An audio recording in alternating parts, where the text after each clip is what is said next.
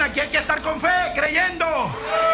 Porque este libro traía los nombres de estos redimidos, estaban aquí adentro. Usted tiene que verse aquí adentro. Dios no ha revelado que William Branham estaba aquí adentro, pero no solo estaba William Branham, yo y usted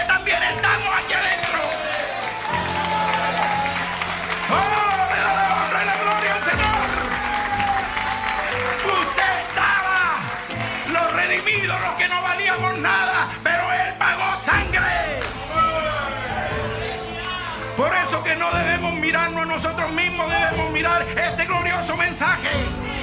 Debemos mirar el librito abierto. Si el Cordero no veníamos, íbamos a estar presos, íbamos a estar encadenados, no íbamos a tener esperanza. Pero gloria a Dios que hubo uno digno. Gloria a Dios que hubo uno digno. Por eso no importa dónde esté este redimido, puede estar en la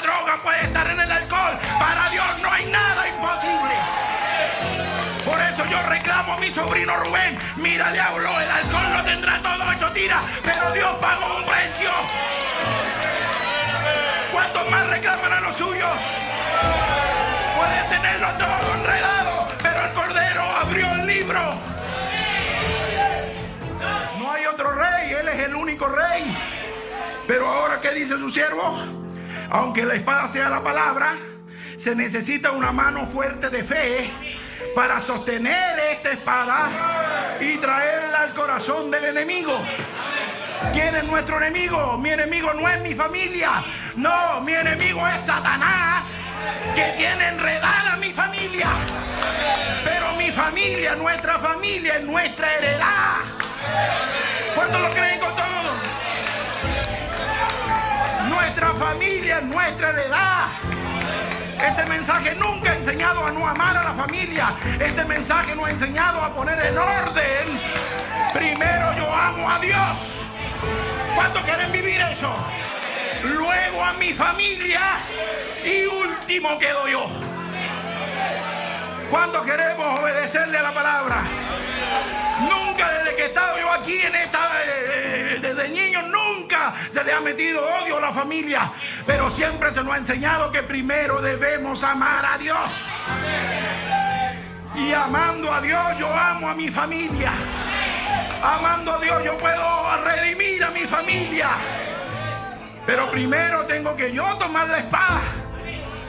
Yo tengo que tomar esta palabra gloriosa, maravillosa, apartarme, santificarme y meterse a quién? A mi enemigo en el corazón del diablo, mi hermano. Para eso ha venido toda esta revelación. No para hacer ahí bibliotecas caminando y que lo sé todo y todo tieso.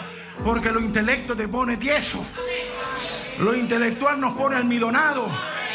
Y vamos cortando para todos lados y llevando a la gente al infierno. Cuando la tarea de nosotros es llevarlo a la gloria. Porque todos íbamos al infierno, ¿sí o no? Cantamos el himno nacional de la novia. Sublime gracia del Señor. Que a un infeliz salvó. ¿Quiénes éramos nosotros sin esta palabra? Gente infelices. Pero Dios me hace feliz. Aleluya. Dios te lo revela a ti primero. Pero esa revelación va con beneficio, va con promesa.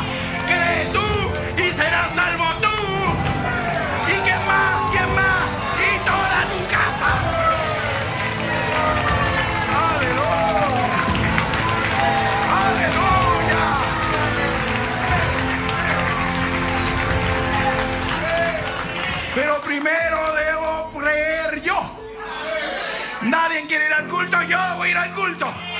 Nadie quiere adorar, yo voy a adorar. Nadie quiere amar, yo voy a amar.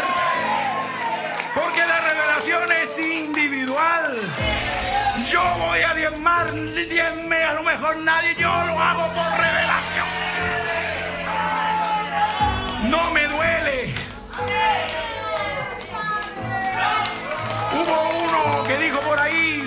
Que duela. Eso no es bíblico. Al creyente no le duele dar.